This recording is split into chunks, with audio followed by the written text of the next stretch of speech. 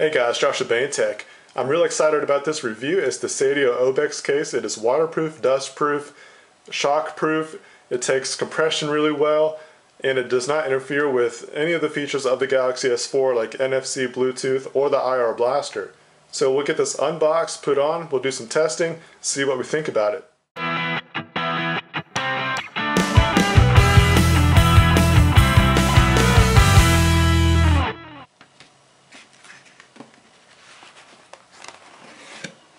Comes with this really awesome box setup. Kind of got a nice little care package in here. Got a Seidio decal. Got one of their Seidio ballpoint pens and stylus. Got some paperwork here, advertisement, got some specs and things like that. So just really cool setup and box, makes you feel like you're getting something special. And lo and behold, here is the Obex. This particular package comes with the holster, so we'll get that unboxed and set up as well. We'll take a quick look at the holster.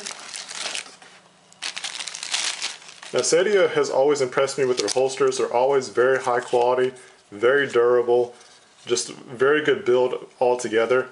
It actually adds a lot more protection if you do wear one. So it's just really nice that they have this available for you if you need a belt clip or you like belt clips. It is a ratcheting belt clip. And it's very sturdy, as I said. And one of the cool things about this is that the clip, it's in itself is sturdy, but it is also a good size. So it's going to fit those nice thick work belts if you have one of those. Here at the top is a spring clip, but what's really neat about this is that it has a lock on it. So if you slide it up, it does not move, but if you have it positioned down, it does move. So it's really cool. It gives you that nice sense of security and peace of mind that the uh, phone in the case is not going to fall out. Now the rest of it is just a really good build. Here at the corners, just very nice. Got great protection, so very strong material. One of the best holsters I've seen in the business at all, or industry. Here is the Obex box. Really nice setup. You got like this little preview door here. It's going to give you all the different specs and capabilities of this case and the features. So it's definitely waterproof, impact proof, dust proof, and snow proof. So any climate this thing's going to be really good in. Just take another look around the box. Just some more specs about it and kind of the different layers. Alright, so let's get this open on up and take a look at the case itself.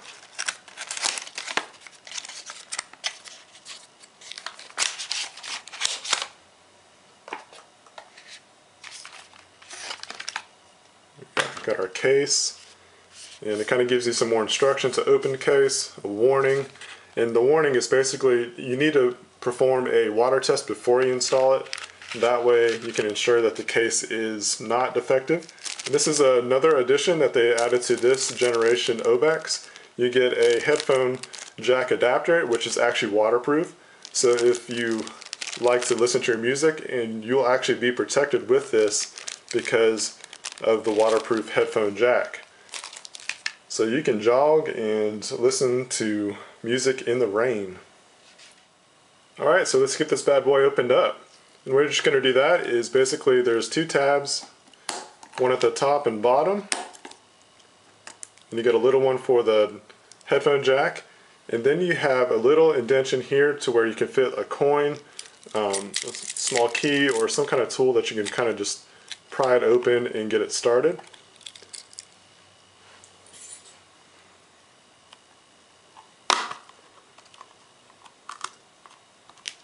So just work the way around. Be gentle with it, you don't want to force anything. You actually got two tabs on each of the bottom corners.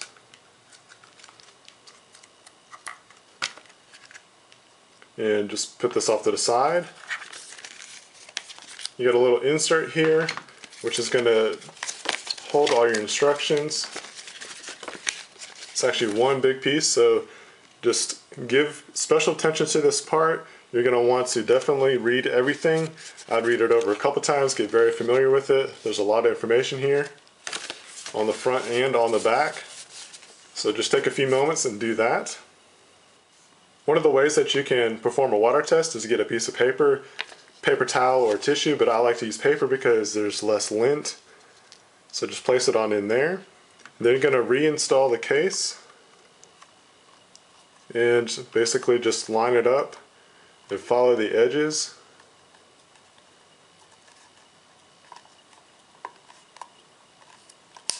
And make sure that you are only pressing the, the edge here, don't press against the screen. And once all that is flush, just click the top and bottoms back into place.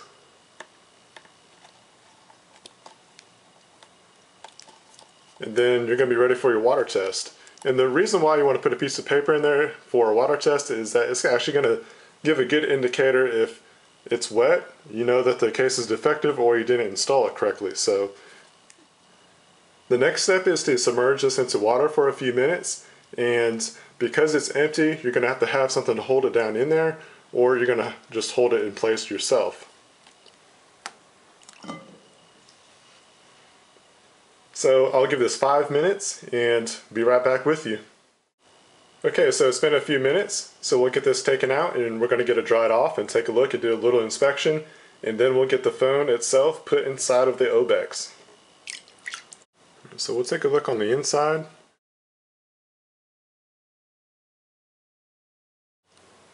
There seems to be no sign of water at all, at least for this part. Take a look at the back plate.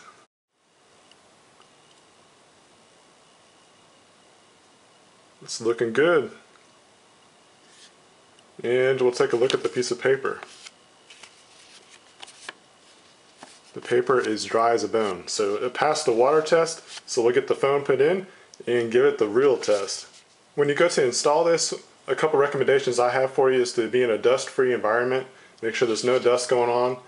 And if you have a screen protector, you are going to want to take it off.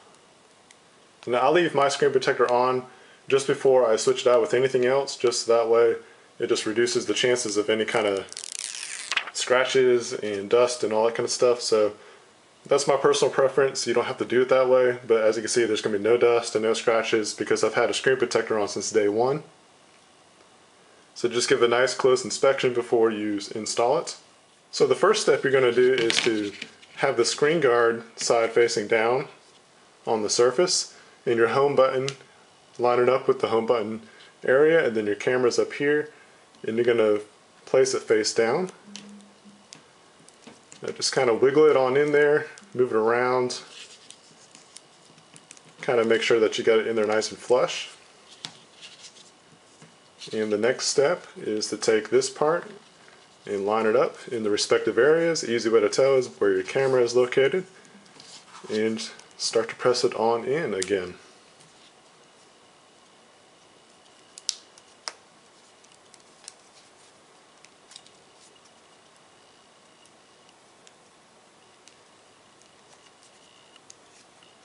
And just pay special attention because this is the, actually the real part. We're not putting a piece of paper in here anymore, so you're definitely going to want to pay close attention and make sure that you're doing everything right. Just go around a couple times pressing this in, making sure that everything is installed correctly. Once you get it all pressed in, you're going to close the latches.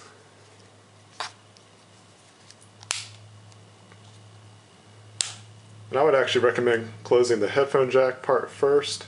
Press that on in very securely and press your latches. What I like about what Seidio does with their design is that they have the screens and the filters raised above the screen protector and that's different from what you see against like what your competition is like LifeProof. LifeProof used to get on my nerves when I had the iPhone 4S because there was such a big pocket between the screen filter and the screen. So I really like Seidio's design with that. It's completely flush and flat on the screen. There's no kind of air pockets at all. And as you can see, you just got all your cutouts, everything that you need to have a fully functional phone. So with all that said, let's get to the good part and get this thing put in some water. While we have this in some water, I'm going to turn on the camera and just kind of give some more functionality to it. See what we got. I'm going to turn this joker around.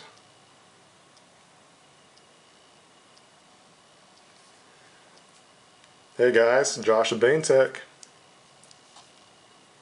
Alright, let's get this put in. Let's get a countdown.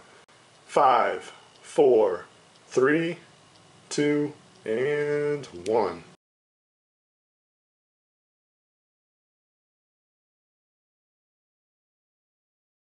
Alright, so you can kind of you see we've got a full functionality. You can see my hand moving around with the camera. Everything seems to be working fine. You can actually snap photos while it's in water. If you have your camera programmed to take a picture, I have mine with the power button. As you can see, I'm taking pictures now. Some you can use your volume rocker. So, alright, so we got this all put in water. It's actually really responsive, even out of the water, still wet.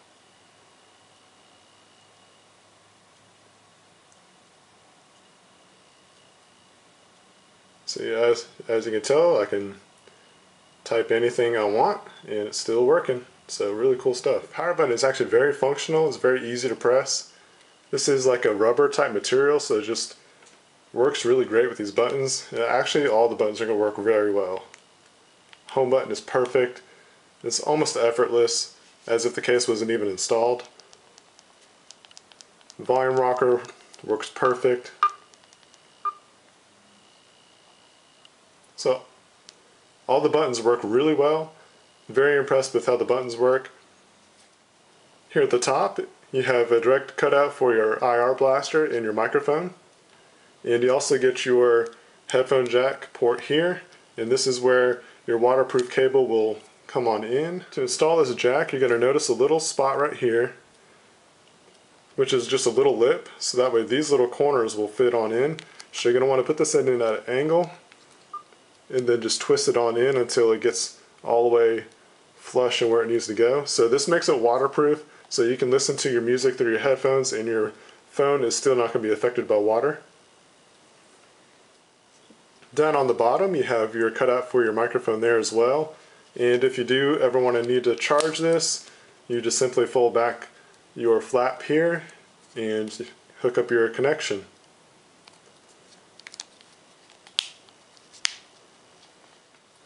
On the back, you have special design camera lens. It's not going to interfere with your pictures at all. And so you got to be able to take great pictures. You get take those underwater pictures, have some fun with that. And you also got a direct cutout for your LED light as well. The responsiveness works great. As you can see, there's no lag. It's very smooth.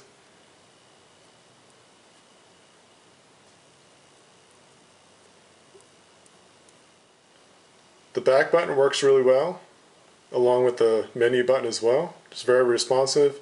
I still feel the haptic feedback. For the sound test, I'm going to play one of my YouTube videos on here. It's got some music that'll play and kind of give you an idea if there's any kind of distortion with the sound, and which is one of the major concerns about waterproof cases is the sound quality and how loud or if there's any kind of distortion. So take a listen for yourself and see what you think.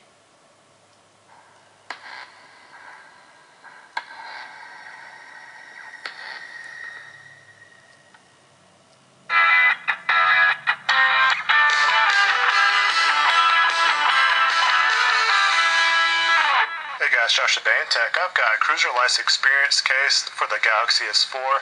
This is a really unique case that they put out for design. It's catered and delivered for the Android enthusiast and especially for the Google stock. So the sound quality doesn't sound that bad at all. There's a tad bit of distortion and you could recognize it more when I started talking in the video and I'll play it again just so you can hear for yourself. For the Android stock look and feel.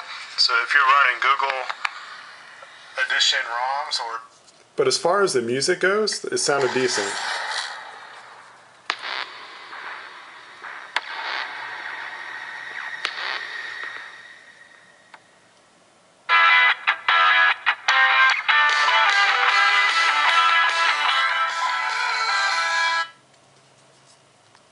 So in my opinion, the sound test is actually pretty good. It's probably the best I've heard for a waterproof case.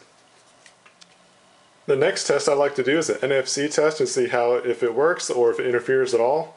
So I got an NFC tag here. I'll just place it down and we'll kind of do the process. Obviously I'm going to turn NFC on. It is now on. And I have a NFC task launcher. We'll go ahead and program something and figure out what we want to do. For testing purposes, we'll do an alarm and we'll go for to set alarm and just hit next. Just add the task, hit complete, and there we go. It says tag is written successfully. So NFC still does work.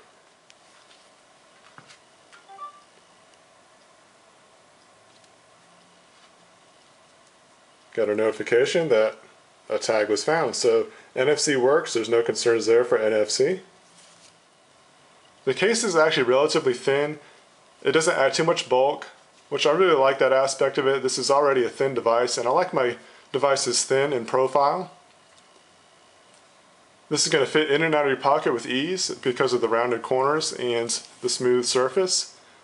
The edges here are actually reinforced with a grip design so that it's not going to fall out of your hand easily because you have that extra grip protection. You get a great holster that you have the option of getting. It's really simple to put in. It's as easy as that. It's not going to go anywhere. There's no kind of wiggle room at all. And you have the option of locking this here at the top so the spring action doesn't even move either. So it's just really good. Great protection, great case. You're not going to be disappointed in the Seidio Obex for the Galaxy S4 that pretty much does it for this review.